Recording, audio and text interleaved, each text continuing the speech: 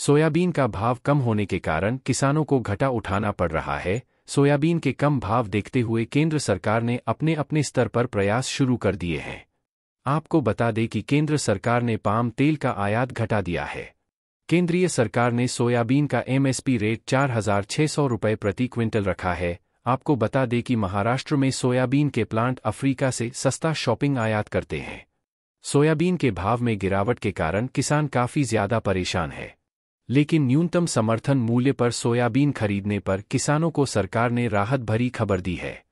भारत में 115 से 120 lakh ton soybean का उत्पादन हुआ है। सोयाबीन का सबसे ज़्यादा उत्पादन होने की वजह से किसानों की हालत खराब हो गई है, क्योंकि उत्पादन बढ़ाने पर सोयाबीन की कीमतों में भारी गिरावट आई है, जिसकी कल्पना किसी ने भी नहीं की थी। विश्व स्तर पर सोयाबीन का रिकॉर्ड उत्पादन ज़्यादा है सोयाबीन का वैश्विक स्तर बढ़ने से आने वाले समय में सोया तेल सप्लाई बनी रहेगी। सोयाबीन के भाव की मांग कमज़ोर होने का कारण सोयाबीन का सबसे ज़्यादा उत्पादन है, वही घरेलू स्टॉक पर्याप्त होने और विदेशों में ऊँचे स्टॉक से सोयाबीन की कीमतों में भारी गिरावट आई है।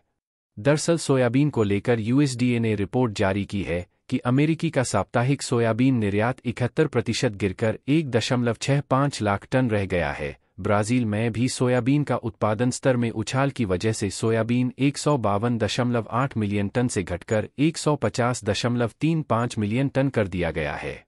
भारत में ही नहीं, विदेशों में भी सोयाबीन का उत्पादन अधिक हुआ है, जिससे सोयाबीन की कीमतों पर भारी असर पड़ा है।